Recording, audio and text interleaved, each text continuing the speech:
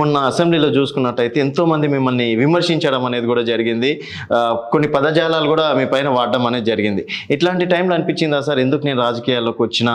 అంటే నాకంటూ వేరే లోకం ఉండే కదా అన్నట్టు ఏ రోజన్నా మీకు అట్లాంటి సిచ్యువేషన్ ఏమన్నా అనిపించింది అనుకోవచ్చా? విమర్శలు అనేటువంటివి నిరంతరం సాగుతూ ఉంటాయి కానీ ఈ రాజకీయాలు చూస్తే మాత్రం అప్పుడప్పుడు అనిపిస్తుంది. కానీ మా ఉరవకొండను చూస్తే మాత్రం మళ్ళీ ఎస్ మనం ఉరవకొండలోనే కొనసాగాలి రాజకీయాల్లో కొనసాగాలి. మన లక్ష్యం నెరవేర్చాలి. ఏదైతే కొన్ని గోల్స్ పెట్టుకున్నామో రెండు లక్షల ఎకరాలకు నీళ్ళు ఇవ్వాలి అనుకున్నాం. ఓకే. సో ఆ గోల్ పూర్తి చేయాలి. వీళ్ళెవ్వరూ మనల్ని డిటర్ చేయకూడదు డిస్టర్బ్ కాకూడదు. మన గోల్ కంప్లీట్ చేయాలి. ఇప్పుడు రాజకీయాల్లో ఎవరు శాశ్వతం కావచ్చు కాదు. అంతే ఐదేళ్ళు పదేళ్ళు పదిహేను ఏళ్ళు ముప్పై ఏళ్ళు నలభై ఏళ్ళు దాని తర్వాత ఈ somebody has to come. Next ten years twenty years తర్వాత. కానీ ఎవరు ఏం చేశారు అని చెప్పుకోవడానికి ఈ ప్రాంతంలో మిగిలి ఉండాలి. ఎండ్ ఆఫ్ ది డే నేనేం ముద్రను వేశాను అనేటువంటిది నాకు సాటిస్ఫాక్షన్ ఉండాలి. ప్రజలకు తెలియాలి. ఓకే. అండ్ రేపు ఎన్నికల్లో ఇదే ఉరవకొండ ప్రజలు మిమ్మల్ని ఆ విధంగా విశ్వసిస్తారు అనుకోవచ్చు? ఎందుకంటే ఇప్పుడు సార్ 100%. డబ్బు మద్యం లేనిది రాజకీయాలు అయితే అవ్వట్లేదు సార్. సో కేశవ్ గారు ఏం పంచకున్నా ఏం చెయ్యకున్నా కూడా గెలిచే సత్తా ఉందనుకోవచ్చా? రాష్ట్ర రాజకీయాలలో ఉరవకొండకు ఒక ప్రత్యేకత ఉంది. నేను మళ్ళీ చెప్తున్నా మొన్న ఎట్లయితే విలక్షణమైనటువంటి తీర్పునిచ్చారో రేపు రాబోయేటువంటి ఎన్నికల్లో వాళ్ళు విసిగి వేసారిపోయారు. సార్.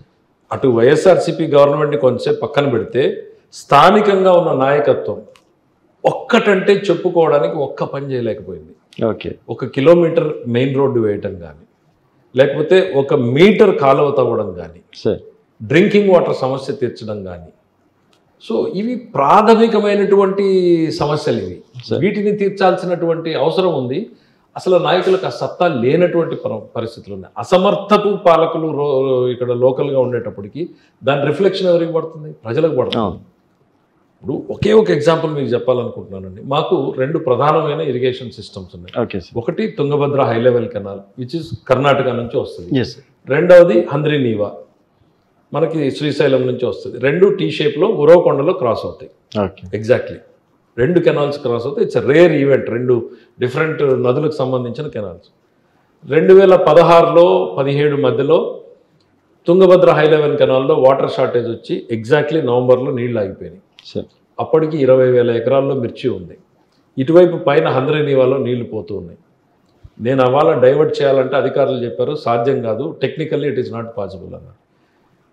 నేను ప్రైవేట్ ఇంజనీర్లను పెట్టి స్టడీ చేయించి మొత్తం ఆ జంగిల్ క్లియర్ చేసి సర్వే చేసిన తర్వాత పాసిబుల్ అని తేలింది. అధికారులు కాదన్నా కూడా వి వెంట హెడ్ కాలువను తవ్వాము వంకల ద్వారా రైతులను ఒప్పించి నీళ్ళు ఇచ్చాము ఫిబ్రవరి దాకా నీళ్ళు ఇస్తే ఇరవై ఇరవై ఐదు వేల ఎకరాల్లో పంటను కాపాడాం. సేమ్ సిచ్యువేషన్ ఈ ఇయర్ రిపీట్ అయింది. సేమ్ నవంబర్ డిసెంబర్లో నీళ్ళు ఆగిపోయినాయి. హంద్రీ నీవాలో ఈ రోజు కూడా నీళ్ళు పోతున్నాయి. కాలువలు రెడీగా ఉన్నాయి. కాలువ తవ్వాల్సిన పని లేదు. టెక్నికల్గా ప్రూవ్ అని అయిపోయింది. Okay sir. నీళ్ళు షట్టర్ ఎత్తి నీళ్ళు ఇవ్వలేనటువంటి అసమర్థ పాలన కేవలం ఏదో ఒక రోజు ప్రెషర్ మేము పెడితే ఓ చిన్న కాలువను తెంచారు. అది అరికాలు తడి కూడా కానటువంటి నీళ్ళు కాలువలో పారినాయి రైతులకు ఉపయోగం లేకుండా. ఓకే. ముప్పై వేల ఎకరాలలో లక్ష రూపాయలు పెట్టుబడి వేసుకుంటే పెట్టుబడి మూడు వందల కోట్ల నష్టం. సార్. లాభం వేసుకుంటే అది ఆరు వందల కోట్లు కావచ్చు వెయ్యి కోట్లు కావచ్చు. ఈ వెయ్యి కోట్ల నష్టం ఎవరికండి? సామాన్య రైతుది కదా? ఆ కష్టం వీళ్ళకి తెలుస్తుందా? ఆ పాపం వీళ్ళకి ఊరికే పోతుందా నేను అడుగుతున్నా? సార్. ఇప్పుడు కౌలు రైతు లక్ష రూపాయలు యాభై వేలు కౌలు చేసి ఓ లక్ష రూపాయలు పెట్టుబడి మిర్చి మీద పెట్టినప్పుడు నువ్వు నీళ్ళు ఇవ్వకపోతే తప్పెవరిది గవర్నమెంట్ది కాదా? ఇక్కడ ఉన్న స్థానిక నాయకత్వంది కాదా? ఉండి. నీళ్ళు లేనప్పుడు ఇవ్వలేకపోతే ఎవరు చేయగలిగేం లేదు. నీళ్ళుండి కళ్ళ ముందు పారుతుండే ఈ నిమిషానికి కూడా నీళ్ళు పారుతున్నాయి. ఇవ్వకుండా మూడు వేల ఎకరాలు. దీన్ని ప్రజలు క్షమిస్తారా? ప్రజలు మర్చిపోతారా? వాళ్ళకి వాళ్ళకి ఆ బ్యాంకుల్లో అప్పులు కనపడవా? తాకట్టు పెట్టిన పెళ్ళము తాళిబొట్టు కనపడదా ఆగిపోయిన పిల్ల చదువు కనపడదా ఆగిపోయిన వాళ్ళ ఆశలు కనపడవా? ఖచ్చితంగా ఈ పాపాలకు మూల్యం చెల్లించుకోబోతున్నారు వీళ్ళందరూ. ఓకే. సార్ ఇంకోటి మీరు చేపట్టిన అతిపెద్ద ప్రాజెక్టులలో మెగా సంబంధించి సిక్స్టీ సెవెంటీ పర్సెంట్ దాకా పనులు కూడా కంప్లీట్ అవ్వడం అనేది జరిగింది సార్. ఇంకొక థర్టీ పర్సెంట్ అయితే అందరు దాదాపుగా అరవై వేల ఎకరాలు అనుకుంటాను రైతులకు సంబంధించి. సో అది ఆపేయడం తర్వాత అదే ప్రాజెక్ట్ అంటే ఆ విధంగానే పులివెందులకు తీసుకెళ్ళడం ఆ టైంలో ఏమనిపించింది సార్? అంటే ఇంతమంది రైతులని ఒక్కొక్క డ్రీమ్ ప్రాజెక్ట్ని క్రియేట్ చేశామండి. దానికి నిజంగా చంద్రబాబు నాయుడు గారికి థ్యాంక్స్ చెప్పాలి. ఎందుకనంటే ఆ ప్రపోజల్ చెప్పగానే ఎస్ నువ్వు చేయగలవు నువ్వు చెయ్యి నేను సపోర్ట్ చేస్తాను.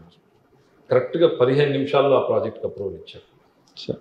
దేశంలోనే వండర్ఫుల్ ప్రాజెక్ట్.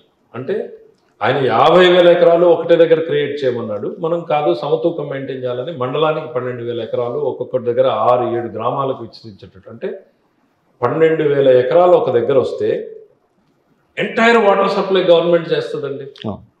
మీ భూమిలో ఎన్ని గంటలకు నీళ్ళు రావాలి ఎన్ని గంటలకు ఆగిపోవాలి అనేటువంటిది టోటలీ కంప్యూటరైజ్ టెక్నాలజీతో దెన్ దానికి పంటలు ఏమి వేయాలి ఎవరు కొనుగోలు చేయాలి అనేటువంటిది కూడా ప్రైవేట్గా మేము టైఅప్ చేసాం. ఏదైతే ఇప్పుడు బిగ్ బాస్కెట్ ఫ్యూచర్ గ్రూప్ ఉందో వీళ్ళందరితో టైఅప్ చేసాం మేము. ఇక్కడ ఏ కాయగూరలు పండించినా మేము కొంటాము అని. మహీంద్రా అండ్ లాంటి సంస్థలు అయితే ముందుకు వచ్చాయి రైతులకి ఫ్రీగా సర్వీస్ చేస్తాం. ఓకే ఇక్కడ అంటే అగ్రికల్చర్ ఎక్విప్మెంట్కి చేస్తాము అగ్రానమీ సర్వీసెస్ అంటే వాళ్ళకి పెస్ట్ ఏదైనా వస్తే సార్ ఏం పురుగుల మందులు కొట్టాలి ఏం ఎరువులు వాడాలి ఏ టైంకి వాడాలి ఇట్లాంటివి ఫైవ్ ఇయర్స్ మేము ఫ్రీగా సర్వీస్ చేసి పెడతాము. ఒక మోడల్ మీరు క్రియేట్ చేస్తున్నారు ఈ ఫార్మింగ్ కమ్యూనిటీకి మేము కూడా ఉంటామని చెప్పారు. ఇట్లాంటి బ్యూటిఫుల్ ప్రాజెక్టు వర్క్ స్టార్ట్ అయిపోయింది. ఒక ప్రాజెక్ట్లో ట్వంటీ ఫోర్ పర్సెంట్ అయిపోయింది. ఇంకా మిగిలిన ఎంటైర్ డ్రిప్ లైన్స్ మీరు వెళ్తే కనపడతాయి ఇక్కడ. గుట్టలు గుట్టలుగా గుట్టలు గుట్టలుగా ఎకరాల్లో నిండిపోయింది. అంటే ఇమాజిన్ చేయండి యాభై వేల ఎకరాలకు సరిపడ్డ డ్రిప్ లైన్స్ కళ్ళ ముందు పడి ఉన్నాయి. పైప్ లైన్లు తవ్వేసున్నాం. ఓకే. ఆపేశారు. నిర్దాక్షిణ్యంగా ఆపేశారు. వాళ్ళు దాని మీద మాట్లాడేటువంటి నోరు కూడా ఇక్కడ ఉన్నటువంటి మాజీ ఎమ్మెల్యేకి రాదు. విశ్వేశ్వర రెడ్డి గారు కనీసం ఆయన జగన్మోహన్ రెడ్డి గారు గతంలో ప్రతిపక్షంగా ఉన్నప్పుడు ఇదే ఉరవకొండలో జలదీక్ష చేశాడు. ఏం చెప్పాడు? పంద్రి నీవ పనులు పిల్లకాల పనులు మూడు నెలల్లో పూర్తి చేస్తాను ఎనభై వేల ఎకరాలకు నీళ్ళు ఇస్తానన్నాడు ఐదు సంవత్సరాలు పూర్తి అయిపోయింది మూడు అడుగులు తవ్వలేదు.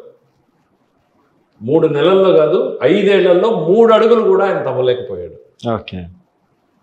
ఇవన్నీ ప్రజలు మర్చిపోతారా? కొన్ని పనులు చేయలేకపోయిండొచ్చు. దాన్ని. ప్రజలు క్షమిస్తారు. సరేలే పది అడిగాము ఐదు చేశాడు నాలుగు చేశాడు. నువ్వు చెప్పుకోవడానికి ఒక్క పని ఓకే. ఒక్క పని ప్రధానమైనది ఏంది నువ్వేదో ఇస్తే మేము తీసుకునేది కాదు. మా కాళ్ళ మీద మేము నిలబడే సత్తా ఉంది. నువ్వు ఎంత ఇస్తావు మహా ఇస్తే సంవత్సరానికి? ఇరవై వేలు ముప్పై వేలు. నువ్వు ఇచ్చేటువంటి రైతు భరోసా ఎంత?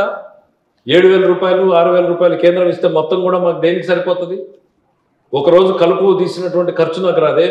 నేను పది సెంట్లు మిర్చి పండించుకుంటే దానికి పది రెట్లు తీస్తాను నేను. పది సెంట్లు ఒక ఎకరా కాదు. ఎకరా తీస్తే ఎకరాలో నార్మల్ ప్రాఫిట్ తీస్తే నేను లక్షన్నర తీస్తా. నాకు నీళ్ళు ఇవ్వయా సార్ నీళ్ళు ఇస్తే ఎవరి కాళ్ళ మీద వాళ్ళు బతుకుతారు? ఎవరి పనుల మీద? ఎంతకాలం ప్రజలు మీ వైపు దేహ్యం చూస్తూ ఉండాలి? ఓకే అండ్ సార్ నాకు నీళ్ళ విషయంలో ఇప్పుడు చూసుకున్నట్టయితే కర్ణాటకలో కాంగ్రెస్ గవర్నమెంట్ ఉంది. తెలంగాణ వాటర్ కూడా మనకి ఆంధ్రప్రదేశ్కి చాలా అవసరం సార్ తెలంగాణలో కాంగ్రెస్ గవర్నమెంటే ఉంది. రేవంత్ గారితో ఆల్రెడీ చంద్రబాబు నాయుడు గారితో మంచి ర్యాప్ ఉంది. సో జగన్మోహన్ రెడ్డి గారేమో ఇప్పుడు వైరల్ వైరం పెట్టుకుంటున్నారని చెప్పేసి కూడా అను రేపు మీరు అధికారంలోకి వస్తే మెయింటైన్ చేస్తారా సార్? ఇటు కర్ణాటకతో కావచ్చు అటు తెలంగాణతో ఇప్పటికీ దాదాపు ముప్పై సంవత్సరాలు అవుతుంది.